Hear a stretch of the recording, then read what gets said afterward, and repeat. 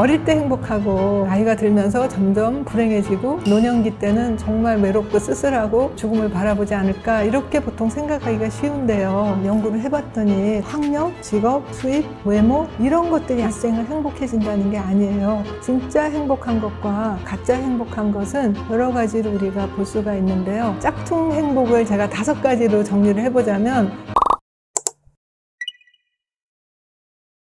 일단 행복이라는 건 굉장히 주관적인 기준이긴 한데 그 주관적으로 행복감을 얼마나 느끼는가 했을 때 전 세계에 137개국이 있는데 그 중에서 우리나라의 주관적 행복도는 약 57이라고 해요. 그런데 이것을 우리가 OECD 국가로 한정해 본다면 38나라 중에서 35위랍니다. 그러니까 매우 행복도가 낮은 나라에 속하게 되겠죠. 여러 가지 이유가 있다고 저는 보는데요. 특히 지난 7, 80년 동안 동안에 경제 성장 위주로 열심히들 살아오긴 했는데 그러다 보니까 정서적인 부분 또 관계적인 부분에서 상당히 우리가 소홀히 하지 않았는가 좀 더 구체적으로 도시화, 산업화 혹은 정보화니 이런 걸 하면서 일단 우리가 공동체적인 연결감이 많이 망가졌고요. 그리고 산업화하면서 서열 위주로 그리고 효율 위주로 인간 관계가 삭막하게 된 그런 것도 있고 또 핵가족화가 되면서 더욱더 관계가 더 축소되고 이제는 그 핵가족마저도 이제 탈가족이 되니까 굉장히 외로움이 더 커지게 되면서 불행감, 고립감들이 더 커지지 않았나 그런 생각이 들어요. 그리고 더욱더 이것이 대물림 되기가 쉬운 거가 그렇게 어른들이 살아오면서 알게 모르게 아이들에게도 그런 방식으로 강요하면서 아이들이 행복하지 않다는 게 우리의 현재나 미래를 걱정스럽게 하는 요인이 되기도 하죠. 우리나라에서는 대개 부모님들이 아이들한테 그런 말 많이 하죠. 고3 때까지 친구도 사귀지 말고 놀지도 말고 그냥 열심히 공부만 해서 네가 인류 명문대에 들어가면 나머지 너의 인생은 활짝 피고 고생이 없을 것이다. 영원히 행복할 것이다. 라고 아주 행복이 보장되는 것 같이 그래서 아이들이 잠도 못 자면서 꾸역꾸역 공부하게끔 많이 하는데요. 실제로 거기에 대한 연구도 있습니다. 고3까지 정말 죽으라 공부를 하다가 소위 말하는 명문대 들어가 들어갔을 때 그 행복도는 당연히 처음엔 올라가죠. 그게 얼마나 지속이 될까 하고 연구를 해봤더니 명문대 들어갔을 때 들뜨고 행복했던 것은 평균 일주일이랍니다. 예를 들어서 명문대 법대 들어갔다 했을 때 그 학생들한테 인터뷰를 해봤더니 명문대 들어왔다는 그 기쁨도 잠시인데 곧바로 마주치게 된 그 현실이 뭐냐? 나는 정말 공부만 한다고 진짜 제대로 놀지도 못했는데 명문대 들어와 보니까 막 키도 크고 스펙도 좋고 자가형도 타고 다니는 그런 친구들을 보면서 상대적 박탈감과 열등감을 느꼈다. 뭐 이런 얘기를 한다는 거죠. 그러면서 결국은 평균 일주일 만에 다시 예전 상태로 돌아간다는 게 부모님들께서 본의 아닌 거짓말을 아이들에게 하는 거죠. 그 잠시의 행복을 위해서 우리가 길게는 한 10여 년, 뭐 짧게도 몇 년 동안 아이들에게 굉장히 불행감을 감수하라 하는 것은 좋지 않은 방법인 것 같습니다. 진짜 행복한 것과 가짜 행복한 것은 여러 가지로 우리가 볼 수가 있는데요. 짝퉁 행복을 제가 다섯 가지로 정리를 해보자면 첫째, 조건부 행복. 예를 들어서 내가 뭐뭐라면 내가 돈이 많이 있다면 얼굴이 아주 이쁘다면 혹은 좋은 직장을 갖는다면 이렇게 해서 if라는 조건을 걸고 그러면 내가 행복해질 거다라는 것은 짝퉁 행복이고요. 두 번째 남과 비교를 해서 우월을 가리는 행복이라면 그것 역시 짝퉁입니다. 즉 내가 남보다 잘났으니까 나보다 못하니까 이런 식으로 비교와 우열을 가리는 행복도 짝퉁이고요. 세 번째 찰나의 행복. 즉 지금은 너무 좋고 행복하지만 그러나 내일, 내달, 내년, 10년 후에는 내가 그것으로 인해서 고통을 받는 않는다든지 괴롭다면 이것은 진짜 행복이 아니겠죠. 그리고 네 번째가 자기 혼자만 행복하다면 나를 행복하기 위해서 남들을 괴롭힌다든지 남들을 전혀 돌보지 않고 이기적인 자기중심적인 행복이라면 그건 진짜 행복이 될 수가 없고요. 그리고 이제 마지막으로 뭐뭐 하는 척 정말 행복하지도 않은데 행복한 척 그렇게 자기가 아주 만족스러운 척 가짜의 어떤 표정을 짓거나 가짜의 감정을 가지고 자기나 남을 속인다면 이거는 짝퉁 행복이 되겠죠. 저한테 상담 오는 많은 청소년들한테 제가 물어보거든요. 혹시 소원이 뭐냐? 그러면 대부분의 청소년들이 뭐라 그러냐면 돈이 많았으면 좋겠어요. 그래요. 그럼 얼마나 많으면 좋겠어? 그러면 몰라요. 무조건 많았으면 좋겠어요. 그럼 그 돈 가지고 뭐 하고 싶어? 그러면은 그냥 자기 혼자 아무 간섭도 안 받고 하고 싶은 거 다 하고 사고 싶은 거 다 사고 그렇게 놀다가 죽는 거래요. 그런데 과연 우리가 돈이 그렇게 많이 생길 수 있을까? 또 생긴 사람들은 정말 행복할까? 이런 것들을 연구하신 분들이 있어요. 그분들이 어떤 사람을 대상으로 연구했냐 하면 로또 당첨된 것이 1억, 10억, 100억 그 정도가 아니라 한 2,500억 원 정도 아주 큰 로또 당첨된 사람들을 미국만이 아니라 뭐 호주, 독일, 프랑스 이런 여러 나라에서 추적 연구를 해봤답니다. 그러니까 그 사람들이 물론 로또 당첨됐을 때는 정말 행복했겠죠. 야, 이 돈이면 정말 내가 평생 하고 싶은 거 다 하고 행복하게 살겠다. 그랬는데 놀랍게도 그 사람들의 그 행복도가 얼만큼 유지가 되는가 하고 봤더니 자기가 원래 로또 받기 전과 같은 상태로 행복도가 다시 떨어지는데 평균 불과 1년밖에 안 걸리더라는 거예요. 그래서 물어봤답니다. 아니, 이 많은 돈을 가지고 1년만 행복하다니요? 그랬더니 아유, 맞아요. 근데 처음에는 진짜 행복했는데 조금 지나니까 뭐 이 사람 저 사람 돈 달라고 오고 가족이나 친지 사이에서도 막 불화가 생기게 되고 이러다 보니까 로또 당첨되기 전과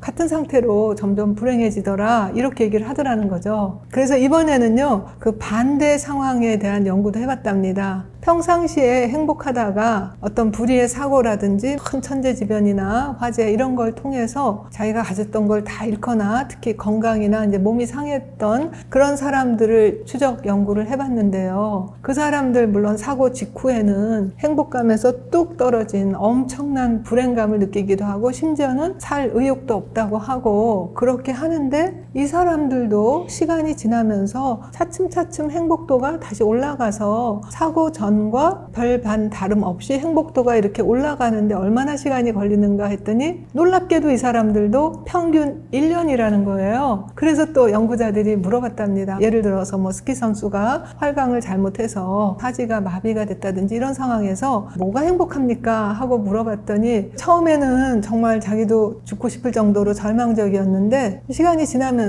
아 그래도 내가 머리를 다치지 않아서 눈을 볼 수 있고 말을 할 수 있고 생각할 수 있으니까 다행이다. 그리고 나를 잊지 않고 찾아와주는 친구들이 있어서 너무 고맙다. 그리고 나를 여전히 사랑해주는 가족이 있어서 행복하다. 이렇게 행복도가 다시 사고 전 상태와 비슷하게 된다는 거죠. 여기서 중요한 건 뭐냐 하면 로또를 받거나 혹은 사고가 나거나 그 어떤 상황으로 인해서 내가 일생을 불행해지거나 일생을 행복해진다는 게 아니에요. 그 전까지의 평상시의 행복도가 이후의 삶에도 영향을 미친다는 거죠. 그 평상시에 행복도를 우리가 보통 행복 설정치라고 하거든요. 그게 낮은 사람은 아무리 로또가 됐다 하더라도 다시 1년 만에 내려올 것이고 평상시에 행복 설정치가 높았던 사람은 정말 극심한 불행을 겪었다 하더라도 다시 원상태로 회복이 된다는 겁니다. 이거는 꾸준히 조금씩 해서 쌓아가야지 이게 한꺼번에 한다고 이것이 갑자기 생기는 건 아니거든요. 그래서 작은 일에 조금씩 그날그날 고마운 걸 느끼고 다양한 걸 생각하고 그리고 더 나아가서는 행복을 우리가 남에게 전해줄 수 있는 선행을 한다든지 친절함을 베푼다든지 이럴 때 행복도가 차츰차츰 쌓여지게 되고 그것은 우리의 신경계, 면역계, 호르몬계, 심지어는 후성 유전학에도 영향을 미치게 되면서 웬만한 일에는 끄떡없는 회복 탄력성도 생기게 되게 하는 것입니다. 그래서 그 행복 설정치가 매우 중요한 거고 이것은 꾸준히 조금씩 해야 된다는 겁니다.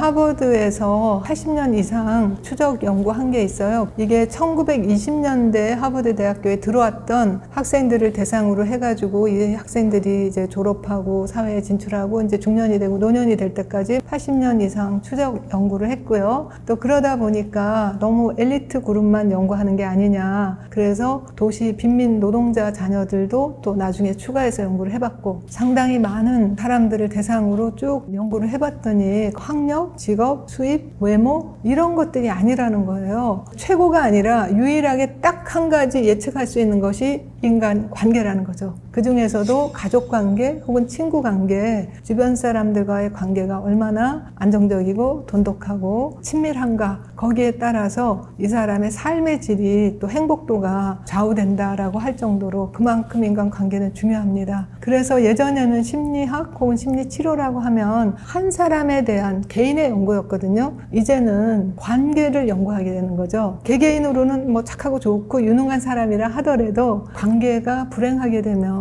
정말 이상한 행동도 할 수 있고 좋지 않은 그런 결과를 가질 수도 있거든요. 그래서 이제 관계 치료로 변화가 조금 있게 되고요. 그 나아가서는 문화, 사회적 맥락 혹은 공동체까지도 같이 아우러서 연구하는 그쪽 방향으로 끼어지고 있습니다. 그만큼 인간관계가 굉장히 중요한 거죠. 재밌는 거는 개인주의를 추구했던 서양에서는 이 관계를 중요시 하는데 인간이라 그래서 사람 사이의 어떤 관계를 중요했던 우리나라 문화 가 오히려 지금은 굉장히 자기 위주로 이기적으로 달라지고 있는 모습이 보이고 있는데 언젠가 어우러지는 그런 시점이 올 거라고 봅니다. 여러 가지 공통점이 있는데요. 첫째가 운동을 꾸준히 한다는 것. 왜냐하면 운동을 하면서 몸만 건강해지는 게 아니라 몸에 여러 가지 쌓이는 스트레스를 우리가 많이 해소할 수가 있고 긍정 호르몬 쪽으로 바뀌는 것도 있고요. 그 다음에 두 번째가 다양한 긍정적인 사고방식이라든지 그런 생각들을 많이 하고 세 번째가 정서적으로 고마움을 많이 느낀다고 해요. 그리고 고마움이 많이 느껴지고 넘쳐나게 되면 당연히 남에게 베풀게 되겠죠. 네 가지로 얘기 얘기를 하는데 그것보다 좀 더 다양한 분야에서 장기적으로 성공하고도 또 행복한 사람들을 연구한 그런 학자들이 있어요. 그 사람들이 장기적으로 성공하고 행복한 사람들의 공통점은 뭔가 했더니 크게 세 가지로 규명이 됐다고 합니다. 첫 번째가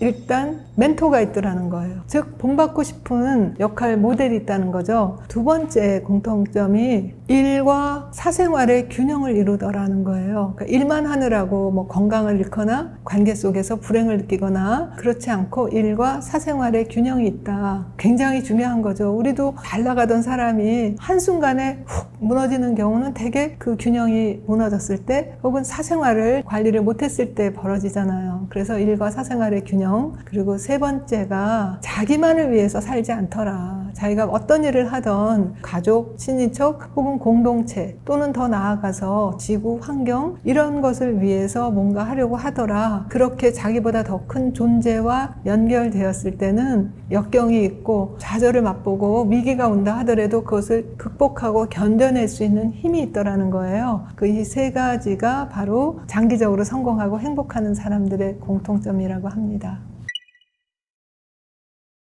구체적으로 말씀을 드릴게요. 우리나라 어린아이들이 행복하지 않다는 것은 여러 지표가 알려주고 있거든요. 그렇다면 그 반대로 행복도가 높은 나라는 어딘가 했을 때 보통 1, 2위로 꼽는 나라가 핀란드, 덴마크거든요. 그러면 덴마크에서는 그럼 아이들을 어떻게 키우는가? 우리가 여기서 좀 배워야 되지 않을까 생각이 됩니다. 자, 첫째로 덴마크에서는 아이들을 많이 놀게 한답니다. 거꾸로 우리 아이들 많이 놀게 하는가요? 공부해라, 학원 가라, 영어 배워라 이러는데 많이 놀게 한다고 해요. 그리고 두 번째, 아이들이 자연 속에서 많이 활동을 하게 한다고 해요. 덴마크 같은 경우는 겨울에 상당히 춥고 봄도 아주 스산하고 날씨가 그런데요. 그 덴마크에서는 좋은 날씨다, 나쁜 날씨다 이렇게 가르지 않는답니다. 그래서 애들이 추운 겨울도 맛보고 손도 시려보지만 또 거기에 적응할 수 있는 그리고 자연 속에서 놀고 활동하는 시간을 압도적으로 더 많이 갖는다고 하거든요. 그 다음에 세 번째가 조기 교육을 하려고 막 밀어붙이지 않는다고 그래요. 예를 들면 한 초등학교 3학년 때까지 읽고 쓰기 얘기를 못해도 되고 잘 가르치지도 않는다고 합니다. 예, 그런데 우리는 막 어린이 논술 학원 이런 것도 있고요. 정말 이해가 안 가요. 그리고 뭐 초등학교 1학년 아이에게 영어로 독후감을 쓰라고 숙제를 주는 그런 학원도 있다고 해요. 그런 것은 정말 아이들에게 엄청난 스트레스를 주게 되고 실제로 그렇게 막 빨리빨리 많은 거를 가르쳐 준 아이들이 오히려 나이가 들면서 더 공부와 멀어지고 공부에 더 많은 스트레스를 받는다고 하거든요. 유치 유치원도 빨리 해서 초등학교 들어가게 하는 것보다 오히려 유치원을 1년 더 다니게 했던 아이들이 학년이 올라가면서 자신감도 붙고 지도력도 생기고 또 학업에 대한 흥미도 잘 따라간다는 거예요. 그렇다면 그 나머지 시간 느긋하고 여유 있는 동안에 뭘 하느냐, 뭐 놀고 자연 친화적인 것도 중요하지만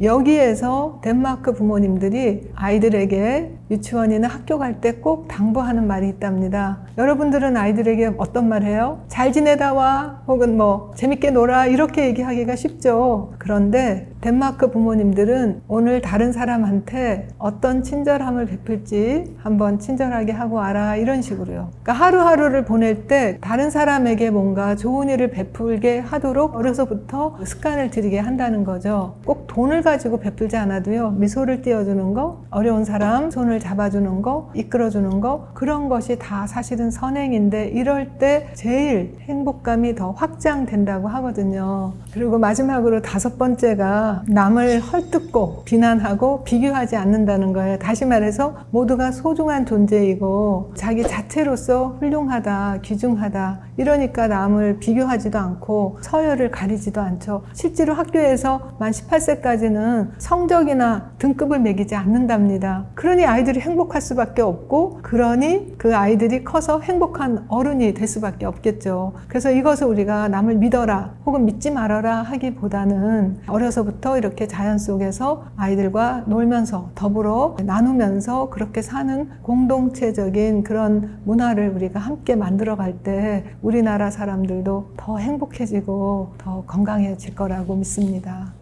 보통 일반적으로 우리가 어릴 때 행복하고 나이가 들면서 점점 불행해지고 노년기 때는 정말 외롭고 쓸쓸하고 죽음을 바라보지 않을까 이렇게 보통 생각하기가 쉬운데요. 그것은 젊은이 위주의 문화가 많은 사람들한테 각인이 되면서 아, 나이가 들면서 이제 노화도 생기고 건강도 사라지고 하니까 불행해지지 않을까라고 생각을 했는데 그러나 실제로 정말 그 사람들을 연구를 해보니까 노년기에도 오히려 행복감이 더 커진다 하는 개인과 혹은 부부가 많더라는 거죠. 여기에 선구적인 연구를 하신 분이 버니스 뉴가튼 박사인데요. 그분이 실제로 뭐 공원이라든지 교회 모임 이런 데 가서 이제 사람들을 연구를 해보니까 젊었을 때는 일하느라고 혹은 성취하느라고 뭔가를 이루느라고 각박하게 혹은 스트레스 받으면서 이렇게 치열하게 살았다면 노년기가 되면서 좀 더 느긋해지고 여유로워지고 또 어떤 인생을 보는 큰 관점도 넓어 지고 깊어지고 하면서 행복감이 높아진다 하는 어른들도 상당히 우리가 생각한 것보다 훨씬 더 많더라는 거예요. 그리고 부부 관계를 연구했던 가트맨 박사님도 보통 첫 아이 낳고 둘째 아이 낳고 하면서 행복도가 점점 떨어지다가 부부의 행복도가 가장 밑바닥일 때가 막내가 대학 가기 직전이라고 하거든요. 그 다음부터는 차츰차츰 올라가서 노년기가 되면 신혼기와 다름없이 다시 행복도가 이렇게 유턴을 하는 경우가